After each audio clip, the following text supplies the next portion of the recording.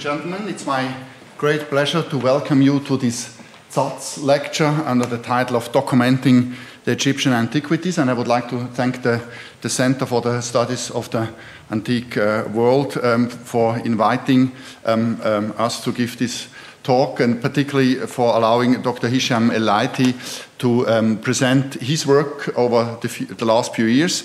Um, it's a great privilege, it's a, an honor to have you here. We know each other for many years, um, but uh, the honor comes with your uh, background. You, um, uh, Dr. Elleithy um, actually is a, has his uh, master thesis in archaeology done in 2001 on ancient Egyptian letters to the dead. In 2012, he got his PhD in archaeology in a uh, funeral painted wooden stela from Thebes.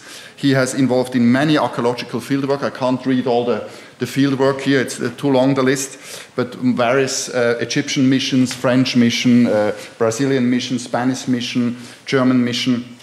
And uh, he's also, and this is a very important member of the Permanent Committee of the Supreme Council of Antiquities of Egypt since 2015. He was the General Director of the Scientific Publication Department uh, from 2011 till 2015 and the General Director for the Center of Studies of Documentation of Egyptian Antiquities 2015 and 2018, all under the umbrella of Supreme Council of Antiquities, which is the Ministry of Tourism and Antiquities. And now, since um, four years, he's actually the Undersecretary of State for Documentation of Egyptian Antiquities. And we already talked before that uh, this documentation is the most crucial thing. You know, you can't do proper science if, science if things are not well documented. So we are really looking forward, and it's a great pleasure and honor to have you here. Thank Please, you. Hisham. Uh, really, thank you so much, Frank, for this introduction. First of all, I would like to thank all of you to come to uh, listen and to see something different than you used to. And uh, also, I'd like to thank uh, Frank for the kind invitation to be here with you to, today. Uh, and also to thank my colleague and my friend uh, Mahmoud Ibrahim, who organized this uh, event or everything behind this to be to be possible to come uh, to Zurich. And uh, really, I, I appreciate what uh, Frank and Mahmoud did the last few days in order to have this invitation happening and everything. Um, as head of Center of Documentation, nobody know what does it mean, the Center of Studies and the Documentation of Egyptian Antiquities, and why? It was why it was established, when, where, what the main components of the Center of Documentation, what is the achievements and challenges uh, we face, what are the priorities of the Center of Documentation, what are the steps the Center of Documentation does to protect and the culture uh, priorities. Why? The Center of Documentation was established in uh, 1956, and it was for purpose to document all the antiquities supposed to be covered with the water because of the floods and because the, the, the country wants to build a new dam, uh, the High Dam, which is, we already had our first uh, dam. It was Aswan 1920, and it was not enough to prevent the floods to cover because the flood, when we had flood in, in, uh, in 50s and 60s of last century, really it was a disaster for the country. Covers on they destroy all the fields and destroy houses and all the monuments behind the, the, this dam. It was covered completely, and we have to find a solution how we can prevent or to save these uh, uh, monuments. And as I said, the Dam was established in January 1961, and it take, took uh, 10 years in order to be functioning. When the Center of Documentation I just mentioned, it was 1956, officially, to 25 of April 1990, uh, 1956, but one year before, it was the preparation in order to have this center function only to, to as I said, to document all the, mummy, uh, the monuments supposed to be sunken under the water because of the high dam. First, when it was established, it was in the uh, what's called Ramses Street. It was behind the Egyptian Museum in, in Cairo. If any of you visited Cairo, he can uh, imagine I visited the, the, Egyptian Museum in Cairo. It's supposed to be behind the Egyptian Museum, but now it's demolished because in, in the 60s, when they wanted to establish or to create and they erected the 6th of October bridge, they have to demolish all the uh, buildings behind the Egyptian Museum in order to have it. And this is, it was supposed to be by night, it was eliminated. But the new building now in Zamalek, Frank used to come, and Mahmoud, of course, and uh, it, before we were uh, Minister of Tourism, uh, Antiquities only, and then became Minister of uh, Tourism and Antiquities in 2018. The aim, Dr. Sarwat Okasha was a former uh, Minister of Culture in the 50s uh, during the uh, establishment of the uh, Center of Documentation. And he was the, the, the key person to um, salvage all the monuments, uh, the Nubian monuments. And why he decided to go and to uh, try to save this monument before uh, building the high dam. He once, and you can see the date here,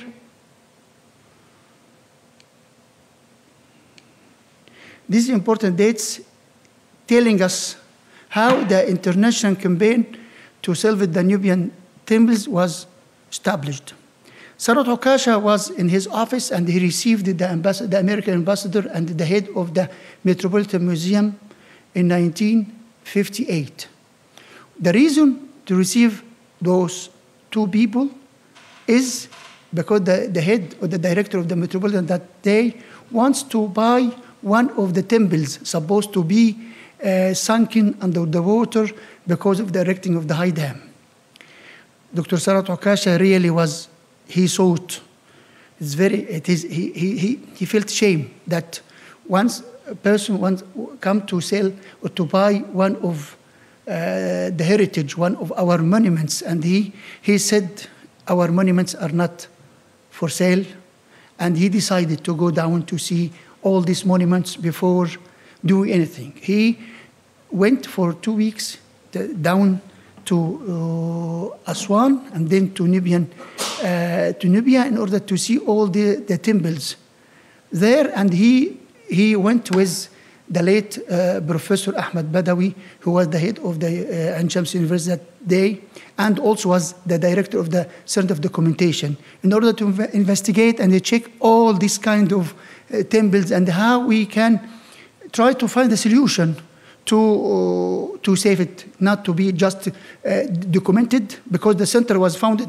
uh, as I said, in 1956, and the, we started immediately to, to do documentation, and the, um, the pioneers of the, who worked in the Center of Documentation at that time they did a great job, and they document every little details about all the temples and uh, troubles there, and really it was a magnificent work done that those days we keep in our uh, center of documentation, all these records and the, the, documentation, plans and the photos, and I will show you uh, later in this uh, lecture everything what we have, as I said, the preparators, and how we can use this in order to benefit all the scholars and the students to have a look and to, to get benefit. Uh, as I said, the, the countries we had after the, the, they make this announcement and with connecting with uh, uh, the UNESCO was involved uh, that time. And because the, the, UNESCO in that time was uh, recently established. And really when he involved with uh, the Egypt in protecting or salvage these temples really it was for, for, for the, the UNESCO it was the, the, the, star. Because with this uh, international campaign the UNESCO became uh, very famous uh, all over the world. And we have 10 countries uh, involved in uh, this campaign. As you can see, Spain, Germany, Italy, United Kingdom, Belgium, Poland, Sweden, Switzerland, France, United States of America, really they did a great job. They helped us. The, the, the duration of the campaign, it was uh, for 20 years. But for the Nubian temples, only eight years.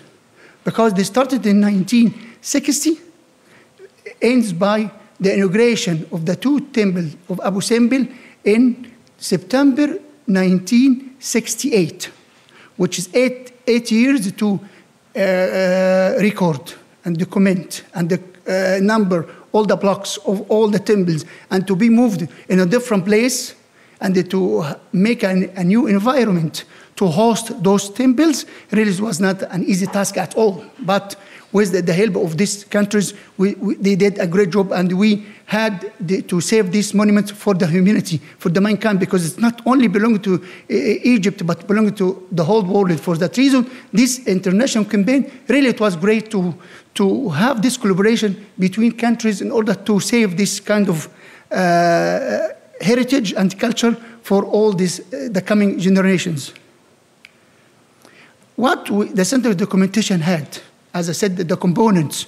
We had Scientific Archive, Documentation Department, Tombs and Temples, Egyptian Antiquities Organization Archive, and Papyrus uh, uh, Archive. I'm now going to talk about all these elements or these components. Just I will choose one or two, uh, two parts in order to highlight what we did and what we have and what we are doing for the colleagues all over the, uh, the world because we have this kind of collaboration and the, we help a lot of scholars, uh, a lot of students to come to see what we have and the, we help them to give them images and uh, upon the, the, the request. And really, there's something very important. The documentation department as the Nubian Salvage Company uh, campaign.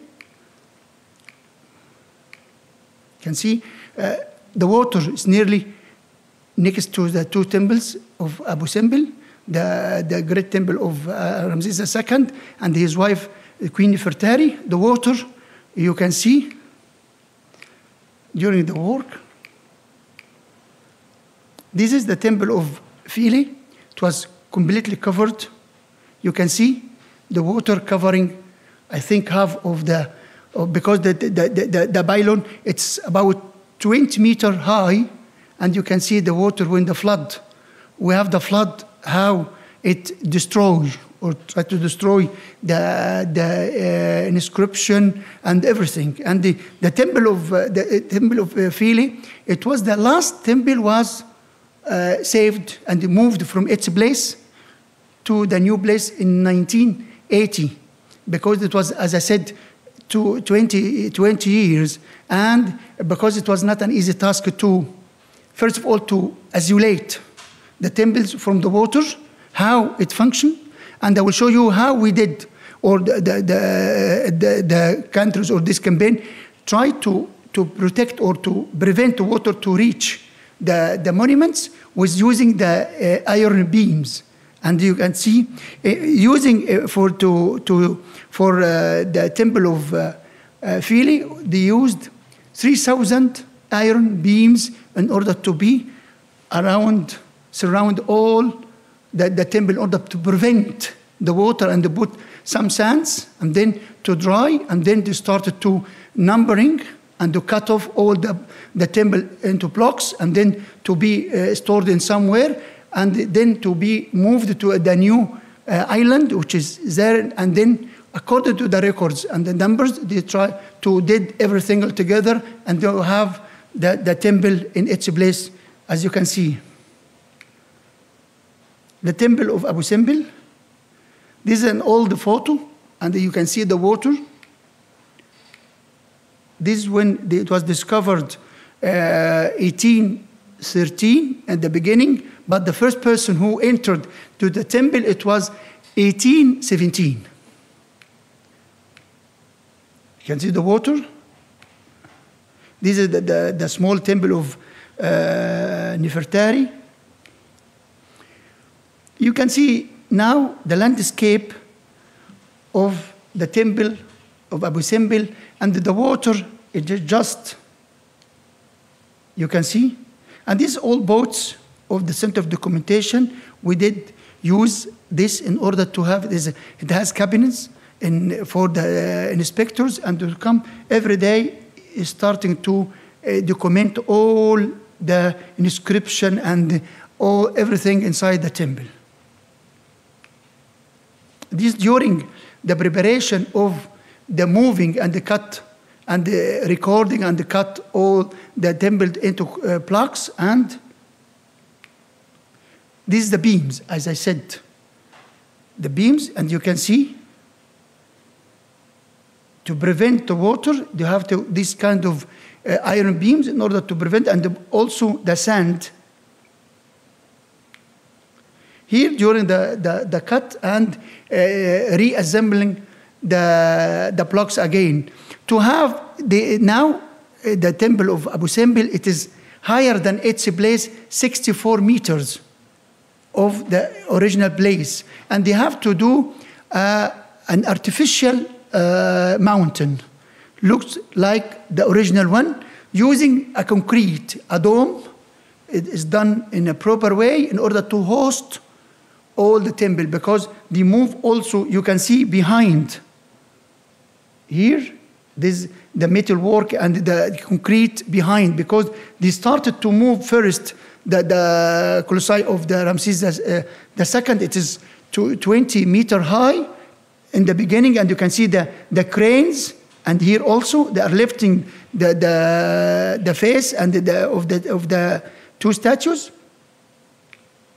and it is the place for uh, restore uh, uh, first to move and to give them the numbers and then to restore them and then also to put this kind of mastabas in order to, to keep and store, uh, store all the blocks. And this is the, the new location of the temple of Abu Simbel after it was moved. And this all artificial uh, mountain looked like the, the original one. After we finished as a center of documentation, documenting all the, the temples and of, uh, of Nubia, we moved north in order to document all, because the purpose in the beginning only to document all the temples supposed to be sunken underwater. But after we had this task accomplished, we have to move to forward in order to do other documentation for all the monuments. We moved to Aswan and the Luxor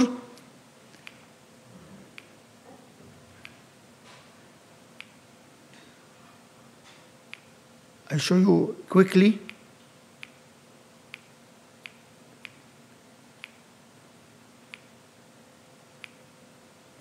This is the Nubian temple.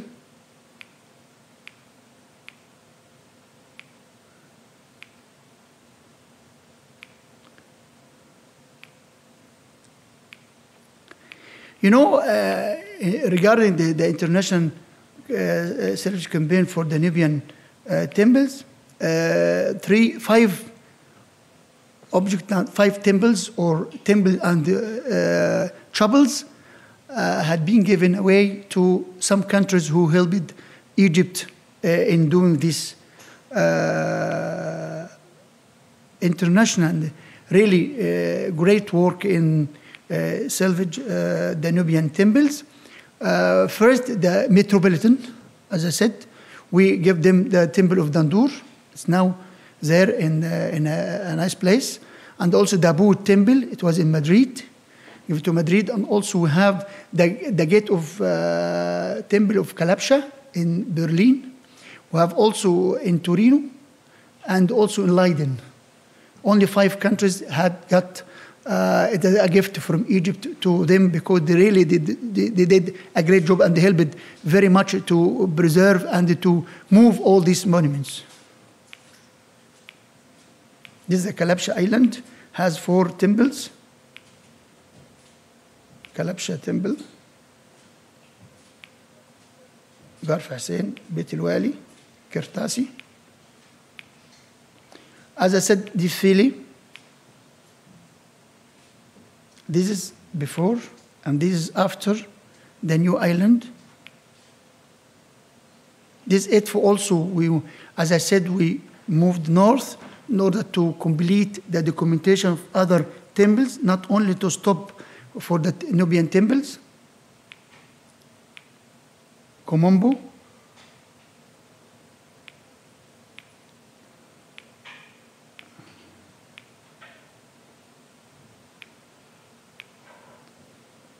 Luxor Temple.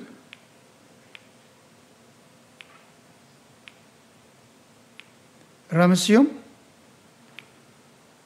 the West Bank of Luxor. And also we did a lot of documentation for the tombs. We did document till now 470 tombs recorded and documented from the Center of Documentation till now. And also we moved to, this is the Valley of the Queens, Valley of the Kings, also the Theban tombs. Also, not to record or to document this, documentation is not an easy task and is a very easy task, both. It is an easy task if you did document and then to do to have a database for all what you have documented, for others to check, others to come to get benefit from this. Because without database, you don't know what you have. Only you have records, you have images, you have photos, you have plans, you have line drawings, but you need to, to have something real for people to, to, to use, people and uh, students, scholars to use and to get benefit from what you have documented. Because without publishing such a, a database or uh, books or uh, newsletter of what you are doing, nobody will know what you are doing. You have to uh, have your the information and knowledge available for everybody with different means. And that's what we, did, we are doing in the ministry and in the Center of Documentation in particular, to have our information and knowledge to present it to everybody who is different as a book, as a, inter, as a, uh, as a database, and uh, our uh, center is open for everybody from any place to come to check what he wants really in, in, an, easy, in an easy way. We created something called the FAMUDIS uh, in order to, uh, to each image we have, it's, it has a new, unique number. There is no any repetition. It couldn't be because we have a primary number and then we have the final uh, number, but this before starting using the digital images, uh, digital cameras. We started to uh, digitize all the tombs with digital cameras in 2005. Before this, all are black and white and normal uh, photos as you can develop it in any studio, but we have our own lab to develop our black and white uh, images, special lab with special uh, paper because we enlarge and small because in order to also to use it for uh, line drawing because in the the time uh, before 2005 we don't use uh, the computer only use the line drawing with my colleagues who do the line drawing with calc and so on and so but now we're using the photoshop and the illustrator. You can uh, draw easily while you are staying at the office. And this is uh, this is the old fish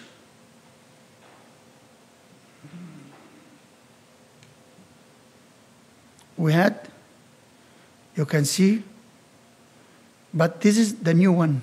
After we make our database and did all the entry, data entry, and the end, you can have this sheet with all the information better than this one.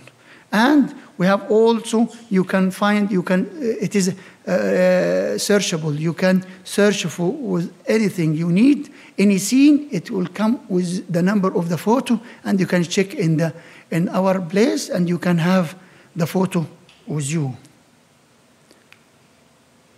The Ramesseum project.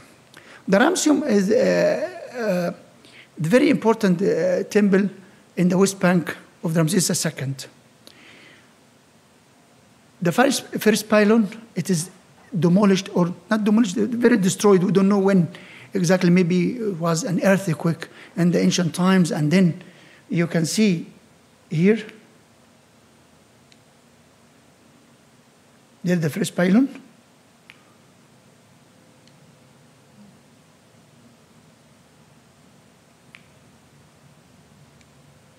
It's quite, you, all these blocks need to be lifted and need to be numbered need to be uh, stored in somewhere in order to demolish the, the whole pylon and then reassembling again with a, a, a different uh, environment.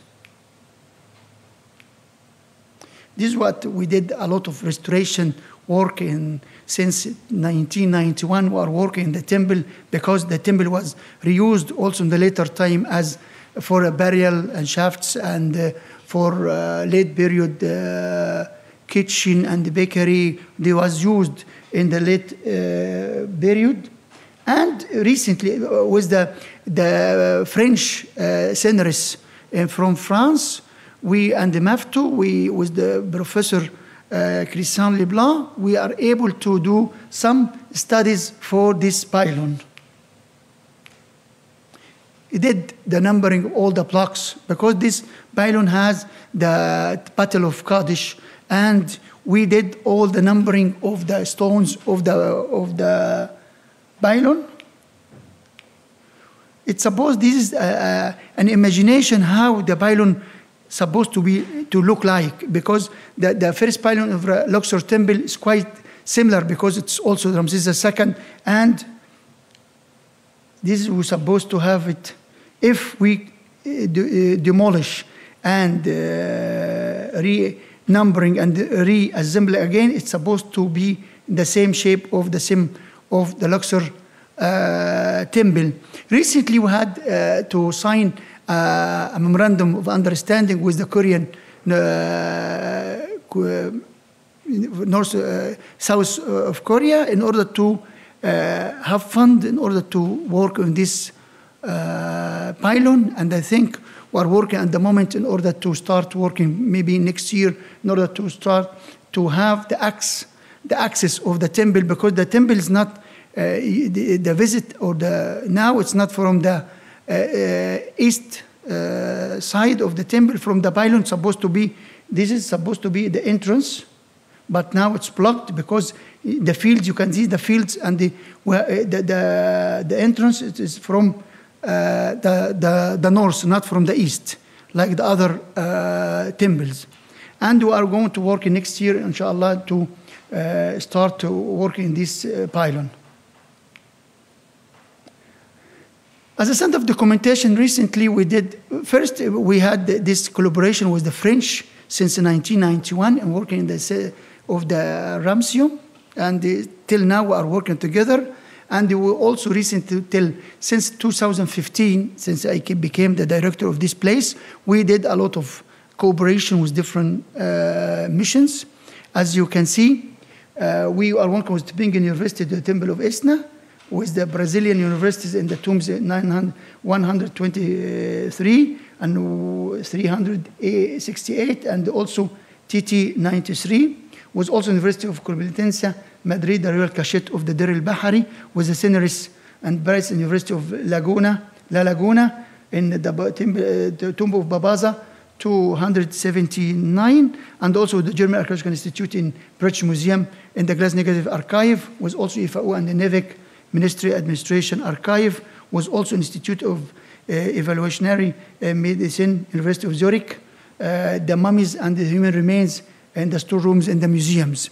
I highlight the, uh, the four uh, in, in red because this I'm going to, to talk about them now, not to talk about all this uh, cooperation, because the international cooperation with different universities is very important because not uh, we are not uh, for the antiquities or in Egypt because we have a lot and we cannot work alone. We have to have some cooperation with different colleagues and different institutions who really wants to help and wants to really they want to to to to, to help in preserving and the, this heritage. As I said in the beginning, this heritage is not only Egyptian heritage; it is the mankind heritage. Everybody has to give a hand in order to protect it, in order to preserve it, to for the uh, generation. Because uh, really, uh, based on nowadays of the changing of the climate, really the antiquities are suffering from different uh, kind of elements uh, like uh, the underwater, like the high temperature, high humidity. Really, we are suffering, and for that reason, especially the organic uh, materials like the mummies and like the wood, we need a lot of help in, in order to preserve the, such things like this. As I said, the temple of Esna, really, temple of Esna. Uh, if you visit this temple, 2000, we say 15, it now is quite uh, different because we, we, with the help of the Tübingen University, we were able to clean the dirt and all this kind of smoke, which was cover, covering the whole uh, inscription, the whole walls, and all, to see this kind of look the colors, and you can see here the middle it's still without cleaning. We, we, we left this in order to see the differences between before and after and during. You can see the colors, and here as well, you can see the, this all was covered, it was like black. And you can see here also as well. And here also the cartouches, two different cartouches, two different colors because of the. You don't see it if you point. It's better if So- you don't point. Yes.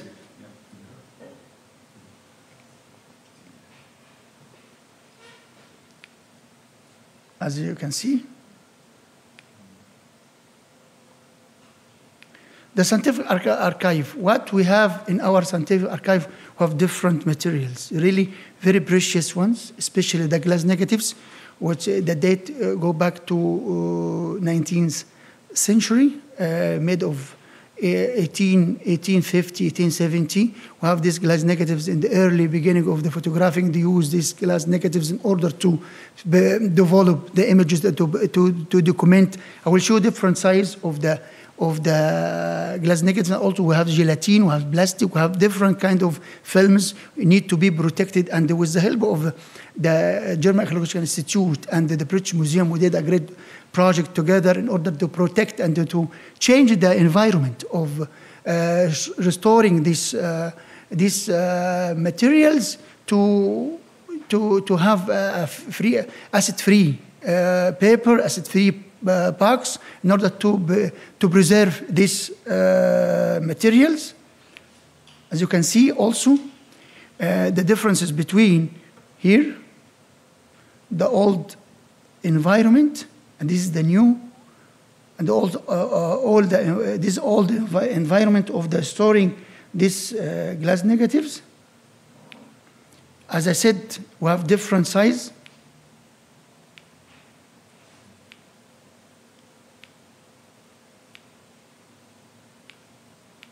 Gelatin. Is very, very, really, uh, uh, very important to protect those uh, gelatin uh, images. Old photos, plastic rolls, prints. You can see the image of the, the Sphinx when it was completely covered with sand and debris, and what you can see also. Was, uh, as I said, with the help of the uh, German Archaeological Institute and before it, it was the British Museum in London. They provide us with all the new tech, high-tech cameras, scanners, and also the acid-free papers and the box in order to protect and do some documentation to take photos of the uh, of the glass negative and then to restore them in the, such a new uh, storage, new box with a label with uh, the acid-free envelopes. And this, as I said, this is the old environment, how it looked like, using this wooden wooden box.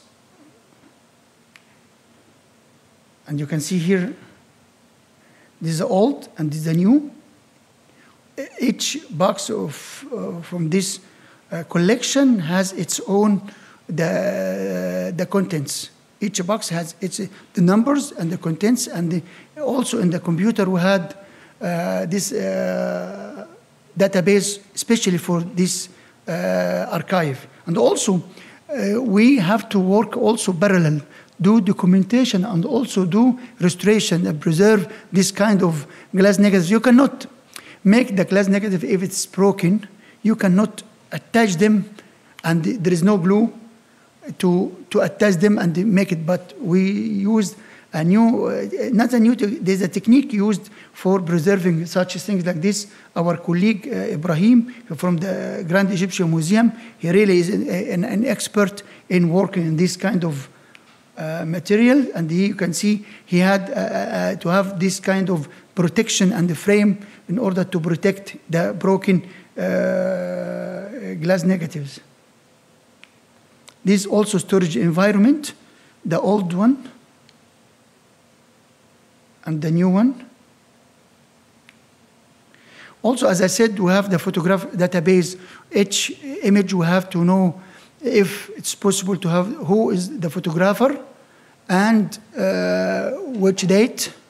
Go back and you have to fill in all the the fields in the database, and it's very very important to have such an um, database for this archive. And also, one of the greatest uh, uh, archive we have, it is something the administration of the minister, not the minister of the uh, antiquity organization, back to 1870, 1880. And this correspondence really very important to tell you a lot of things, especially what I'm going to show you right now. It is something very unique and very important to show, to create uh, establish and to establish the uh, School of Egyptology. It was 18, 1881 and starting to function at 1882.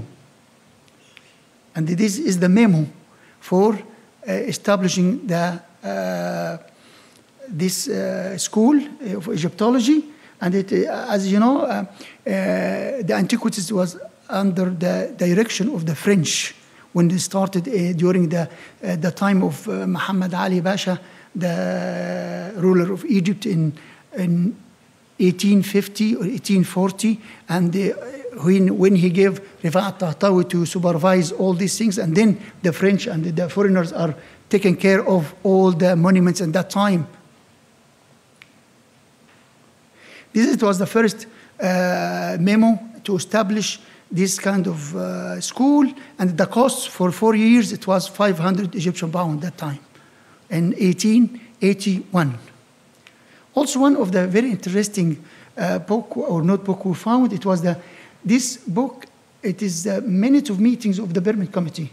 Go back to 1898 till 19 till 1900, and you can see how they uh, managed to write everything, all the details.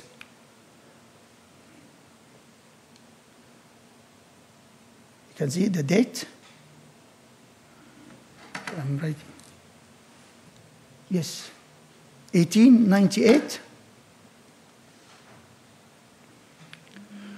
This is very interesting document we have. This, uh, before the law of antiquities, which was 18, uh, 1983, the law called 117. Before, when you are going to dig in Egypt, you can have a portion or 50 50. If you found, for example, 100 pieces, it could be divided. You will have 50 and you can take it with you anywhere and leave other 50 in the country. This is one of the uh, important uh, document we have is between the Egypt Exploration Society or uh, in London with antiquity. And it, it was until Amarna 1924. It was February 1924. You can see the date here. And this is the division system was there at that time. Be, be, uh, according to the law, now it is prevented. It's not anymore. Uh, mid of last uh, 17th, 70s of last century, it was prevented, it was cancelled to make a division. And uh, we, have, we are very lucky, very lucky that all the treasures of Tutankhamun remained in Egypt. Even it was 1922 when they discovered this uh, uh, treasure and this uh, by Howard Carter, and it was a lot of fight that time. How they want to have all the I I I, I, I still remember uh, I, when I read the letter addressed from Lord Carnarvon to Sir Alan Gardiner, who studied Egyptology, you know who is Sir Alan Gardiner, telling him after he entered the, uh, the antechamber of the King Tut, it was 28th of November 1922, when he said a one sentence that the second floor of the British Museum will host all these kind of treasures. And alhamdulillah that it is now it's covering the second floor of the Egyptian Museum in Cairo. And now it will be, it's moved, uh, 80% of the old artifacts now moved to the Grand Egyptian Museum, which will be inaugurated very soon. And uh, everybody will be welcome to visit the, the treasures or these 5,300 398 pieces of the treasures of the King Tut. It will be displayed all together in the Grand Egyptian Museum. And uh, thanks to the uh, Pierre Lacau, at that time was in charge of the antiquities, and he, fought, he, he really did, uh, he did a great job in to prevent uh, this uh, uh, disaster uh, to move all the artifacts to outside the country with Morcos Basha Hanna at that time, who also both altogether the, the, did a great job to prevent the transporting all the artifacts to uh, England and to be transported to Cairo to be uh, displayed in the Egyptian Museum uh, in Tahrir.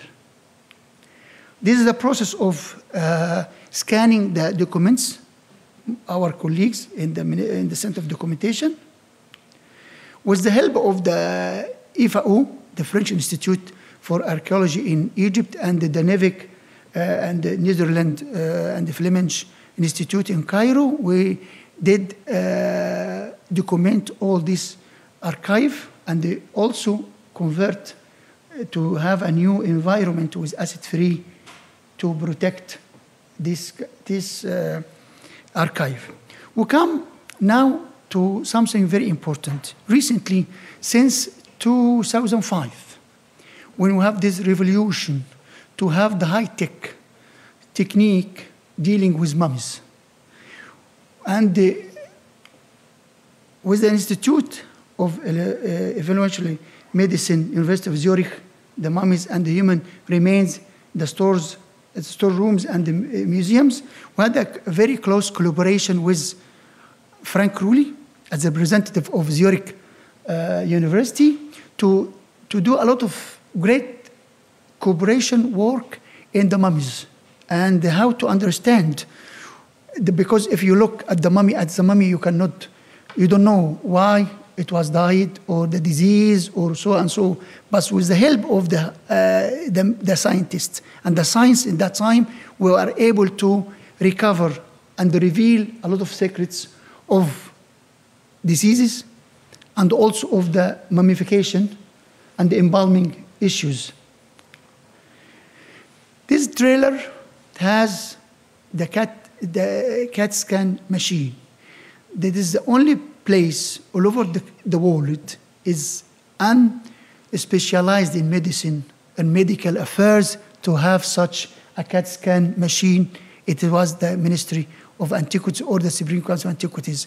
In 2005, National Geographic, with a collaboration with Siemens Company in Germany, they donated this uh, with this CAT scan machine in order to do the research for the mummy of the King Tut, Ankhemen, and the other royal mummies. Because, as I said, the, we, Dr. Zahi was created uh, the Egyptian uh, mummy project. And with this project, we will be able to do a lot of research, a lot of cooperation uh, with different institutions, especially with Frank and his institution to do a lot of research in this project. This it was in the Egyptian Museum and it's still there. and you can see uh, the CAT scan. And as I said, as, uh, as a, uh, an institution, the antiquity institution, the first time all over the, the world that an institution like uh, Supreme Council of Antiquities had such uh, a machine. And this, this image go back to 2005, and you can see Frank and myself were, I was responsible, I was the director of this project, and Dr. Zahi was the head of the team, and we did a great, a great, uh, really a great uh, job. And uh, when we did the scans of the King Tut, it was in the Valley of the Kings in March 2005. And something happened really very strange. And the people saw that it is the curse of the Tutankhamun. Because for the first time to have this storm, to have rains in the Valley of the Kings in, in March, and also the machine stopped. Really. When we left the mummy from uh, the sarcophagi, from the burial chamber to the machine, immediately for half an hour, the machine was stopped. You, you know this better than me, and I was there, of course. But really, we said that it is the curse, and we're not going to succeed. We're not going to continue. We have to close everything and go back home without doing anything. And after half an hour, the machine uh, restarted again, and we did these uh, scans till it was five or six o'clock in the in the evening, and we finished by eleven uh, o'clock, and then we returned back that the mummy to its place, and everybody went home, and everybody really it was an experience that night. We will never forget these uh, memories at all. Celebrating 100 year of the discovery of the tomb of King Tut Ankh-Amun, it was a great uh, success to have such uh, a conference with the cooperation with the American Research Center in Egypt to, to host and to organize two days conference in Luxor.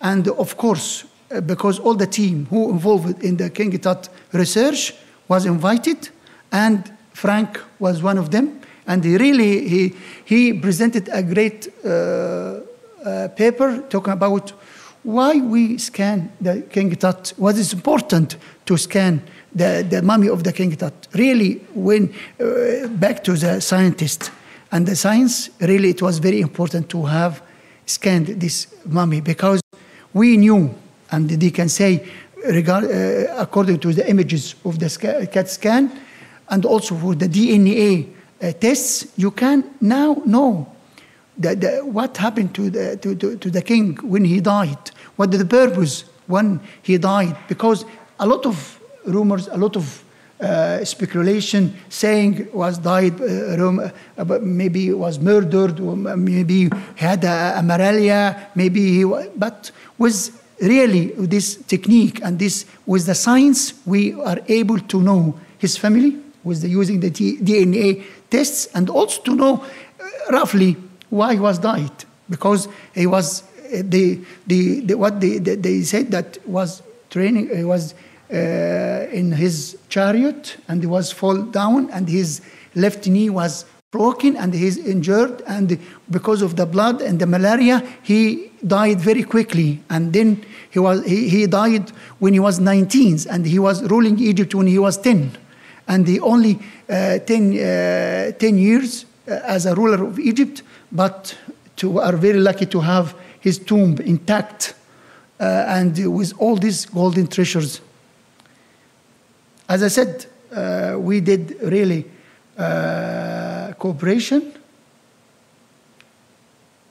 Also, one of the great uh, opportunity for us as a uh, Supreme Council of Antiquities, we do a memorandum of understanding with the institute here to uh, document and to study the human remains and the mummies.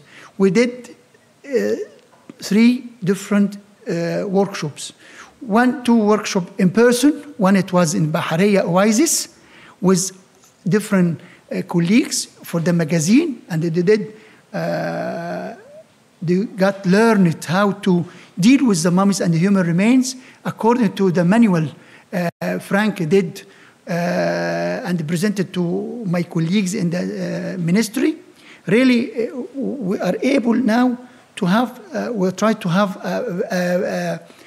a, a, team uh, get learned how to deal with the mummies and the human remains according to the sheet, according to the database will be created for this purpose.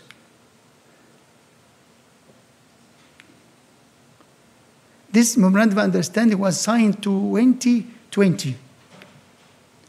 This in Bahariya Oasis, and also we did one uh, workshop in Saqqara uh, inspectorate was also our inspectors there and also different issues different uh, elements of uh, workshop especially but the focus it was really because we need such a workshop we need such a, uh, a technique to how to deal with uh, the mummy and how you document uh, the, the human remains. And really because also Mahmoud is creating a, a, database regarding this issue and it will be inshallah functioning very in the uh, very near future and it is manual that Frank and his team did for the inspectors in order to use it while they are dealing with the mummies and with the human remains and also we did really one of the successful uh, lecture online uh, attended by almost 200 persons in one hour and a half. Really, it was uh, hosted by Frank and really and organized by Mahmoud and myself. Really, we, we, we did uh, all the participants get learned and get uh, a lot of experience as a start for those people who are working in the magazines. And the magazines, as I said, we have three, uh, 34 magazines all over the country full of thousands of fragments, thousands of human remains, and the mummies altogether need to be looked after. And how we can look after those mummies and human remains without uh, training, without learning how to deal and how to document, how to, to classify the bones itself. And really, this is very important, uh, this kind of uh, cooperation uh, with Frank and the, the, Institute because really this is the demand now in the ministry to have such, to create such a lab and such a system dealing with uh, the, the mummies and the human remains. Really, we are very lucky to have uh, Frank as our uh, partner in this regard because uh, now it is really essential demand in, in the ministry to create such a lab with uh, people who are already keen to learn, keen to work, keen to be specialized uh, in this kind of, of field of the antiquities because we have a lot of inspectors, but very rare who join this kind of training or this kind of uh, field. Really, they now have only few people who works in that uh, field, but we, with the cooperation with Frank, will make extension and will will have people to join these uh, workshops and this lab very soon, maybe in the very very near future. Also, uh, one of the great things we did this uh, give the others uh, the certificate of the attendance and the, their uh, their work, and really it was a great opportunity for for me as center of documentation and to also to uh, represent the Minister of Supreme Council of Antiquities to work closely in this field because as a head of documentation, part of my job is to document the mummies and the human remains without uh, because it will be neglected it will be uh, if nobody know how to deal with even the mummy how he can lift the mummy from its place to move it to another place or to put it on the shelf. Really, this kind of, of technique, it will be uh, used and will be learned from the cooperation with Frank and the Institute. And really, I would like to thank you all for coming and for attending the, the lecture. And uh, I'm ready if there is any question I can answer. Thank you so much.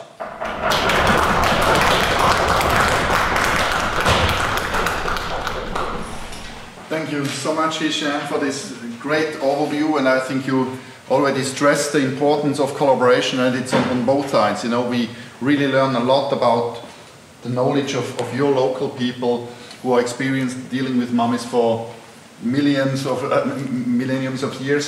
So um, basically, this is something which we really appreciate, and I think, as you already stressed, it's, it's important to collaborate from various angles. It's not only the medically qualified people who work on these kind of issues, but you can have other people uh, uh, like Egyptologists, um, um, molecular biologists, you name it, um, who work together. So this is really something uh, most important. Are there any questions, comments?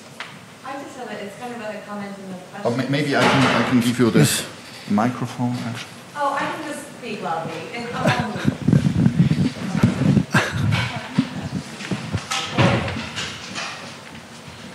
and then she has one after me, so I'll just hand it to her. Okay, so wow, that's loud. Okay, so first of all, thank you for that. It was really interesting. Um, it was really cool to see how you guys have solved so many issues, like the monuments with the dam. You were able to move them, which is just incredible. Um, but then the documents, you know, you you scan them. The photos are now archived then looking at the mummies, you know, you made partners to, to CT scan. Um, so I would just say the question is, what do you think is going to be like the next challenge that you guys tackle? What's like the next thing on your list of things to better document or, yeah, just what's the, what's the next step? I think that the challenge we are facing at the moment, as I said, the organic materials in the in the storerooms. The storerooms is not really it's not the, the, the right environment because we cannot have this bubble as you know, to, uh, to restore, store all these mummies because it needs a special uh, treatment, special uh, environment in order to preserve and to keep them uh, away of any bacteria, of any, because as you know, it is very fragile and also it is uh, organic. It could be if they have a high temperature, it could also be damaged or destroyed. For that reason, this kind of documentation with the people who are expert, uh, they are experts in this, like Frank and his team, really what he did in the uh, three uh, workshops, people became really keen to learn how to deal with them, these materials. And for me, as uh, the director or the undersecretary said for the documentation, this is the essential demand for me in order to document all these human remains and the mummies. It is neglected since a long time. Thank you. Hi, thanks for your talk as well. I'm delighted to see that uh, there's some like effort put into the documentation, which is very, very uh, vital part, and especially like also the databases that you're collecting because it's very, very important for for everybody in the world to also get the information out there. Um, so my question is more like. Um, concerning the geography, I guess like um, I was intrigued by the pictures that you showed about those temples that were um, as a as an entirety like moved from place to place. Um, so, how do you think? Is there like documentation or something like information of how those places have looked throughout the history? Has have these floods like always been like uh, basically flushing these uh, these sites, or has something happened in the late decades or centuries to to form the the geography so that the they are like basically the the floods are now more uh, higher and and more I guess like you know threatening to those sites that you have to do this like very tremendous moves. Uh, for the floods, because as I said, when we had the, the first dam, uh, it was erected and integrated in 1902, it was not enough to prevent the, the flood and the water to cover the, most of the country for six months uh, yearly. But by erecting the new high dam, it was, we are able to prevent the water, to the flood, to reach the, the country or to destroy the fields or the houses or the monuments. With this campaign, when, as I said, it was really a, a great job when they decided to, to move it and to, to another place away of the water, away of the reach of the, the floods if there is, but alhamdulillah there is no floods at the, uh, there at all. And also to use the high dam for double benefits to prevent the water and to also the electricity.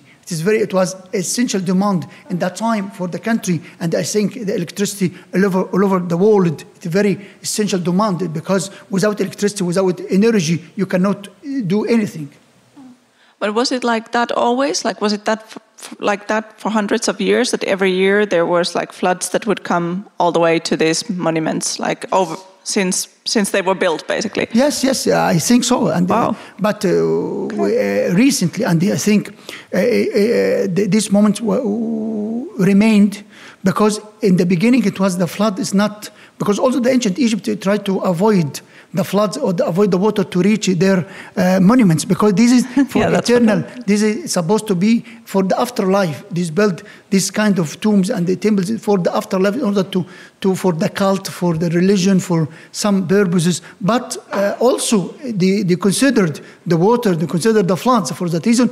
Uh, But when the, the, the- as I said, the climate changed and the the, the, the rains from the south from the for, for the Nile all uh, affect the, the, the monuments, and then we have to, to prevent the water, prevent the destroying of the fields and the antiquities in the same time. Thanks. I actually had the same question here about like how much has been destroyed. Like how much do we think we've lost in the last thousand years? Like how many, how much flooding has there been? How many tombs have you kind of found that you think the floods have got into and destroyed all of the organic remains? Or We cannot count it because we don't know, we don't yet discover all the monuments to say. And the, uh, I, I, I did work in the two tombs recently, we discovered, and we did cleared all the debris. We found Tafla, it is of the flood. And uh, you cannot say anything because you have to, it is, uh, eh, you have to, to study the case by case, not all, because there is tombs without uh, no flood at all, because it was in the mountain, up in the mountain. But the, the, the, the, if it is the bottom of the mountain, it is nearby the, the, the ground, it could be affected by the flood and the water and everything. But we lost a lot of the living areas because the living areas was basically in the, Yes. in the area where the Nile was flooding and it was made out of bricks and not of stone. Yeah. So that's basically disappeared. But for the monuments of the uh, Nubia, we don't lost anything. We moved all the monuments there. Only a chapel of the Garf Hussein temple is still there under the, under the water. But we did have uh, all the documents, and we published the recent, the final book of the Garf Hussein, the fifth volume, and it has all the drawings and all the images, which the, the, the chapel is under the water at the moment. Hmm. it gives you an idea of like the scale of the problem of climate change and what we're going to have to do to deal with rising water levels. It's just yeah, it's interesting. I'm, I hope that yeah, I hope that you can save the, the magnificent um, stuff that you've got. Uh, I also love the picture of you and Frank uh, in 2005 with Tutankhamun. That's very yeah, very similar. Yeah, yes, was it that long ago? Unbelievable, guys. Um, no, just very impressive that you were involved in that work as well. So thank you. You know, as a school kid, I'm sure all of us grew up hearing about how Tut died, and I didn't realize. Yeah, that's very impressive. So thank you. Any more comments, questions? Thank you. Thank you so much for the talk. Uh, my question is about uh, the human remains. So um, you showed this online archive uh, with everything, all the temples and stuff. What about the human remains? So do you have uh, different kind of um, lists where all the human remains, skeletal remains are listed? So let's say uh, different sites, and are they divided by chronology? So um, do you have some uh, detailed uh, database or not, or not yet? Uh, frankly, I'm saying to have a list, no. I have to say because it's thousands of uh, human remains and mummies. But I'm, I know where it is stored because the, the storage is under my supervision. I know the 34 magazine had a lot of uh, human remains and the mummies need to be documented. For that reason, we have this close uh, cooperation because with this uh, collaboration, the memorandum of understanding, we'll be able to do the documentation and do know the number what we have. Because you, I cannot say well, I have 100 or 1,000 or 10,000. No, If I said this, I'm, I'm lying. But because nobody knows how many human remains or mummies in uh, the magazines because every day we discover a lot. In, in, the, in, the, uh, in the excavation I did, the two tombs go back to the 18th dynasty. We found a lot of human remains, a lot of human remains, skulls, mummies, part of chests, legs, hands, a lot. And I cannot count them because it's not yet uh, started, not yet uh, classified. I have a colleague of mine doing uh, some preliminary report about the funds, but to say I have thousand, no. There's a lot of work to do then. Yes. That sounds promising. Thank you. Thank you. And as you said at the beginning, that's, that's the beginning, beginning of science, you know, without knowing what Yes. you have, you can't plan science. You know, one of the aspects where uh, high resolution photographic documentation and uh, availability of this documentation has been a game changer has to do with papyrology. This is my field of studies. And this not only allows us to work from every corner the, of the world on the documents, but preserves the documents themselves. So I was wondering how your work looks like in this direction. Uh, really, uh, this is a matter. This is a really a problem we're facing uh, because the papyri is organic, and uh, without special treatment and preservation, you will lose a lot of information. And uh, I think uh, my colleague Mahmoud works in such things like this, and really it is a hard task. But my colleagues in the Egyptian Museum, they are working very hard. We have a special uh, lab in the Egyptian Museum dealing with all the papyri. But this is only the Egyptian Museum or the Grand Egyptian Museum or the Civilization Museum. But the other uh, magazines who have hundreds of thousands of, uh, of uh, papyri also we create. We have a, a special department in my, under my supervision working in this, try to do a lot of uh, documentary, a lot of digital, digitizing uh, images in order to put together, all together in the, uh, in the database and to be available. And also, once we are documenting those papyri, we have to recommend the restoration, the preservation, because without preservation or restoration, you will lose you will lose a lot of information, and it really it is not. It is very hard uh, task. Uh, final question or everything clear? You were talking about the Ramesseum First Pylon project. Uh, and if I understand you right, uh, you told that it's still ongoing. So, what is. We're not yet started yet. Ah, We already signed a memorandum of understanding with the Heritage uh, Foundation in uh, North, uh, in Korea in order to fund because it will cost a lot of millions.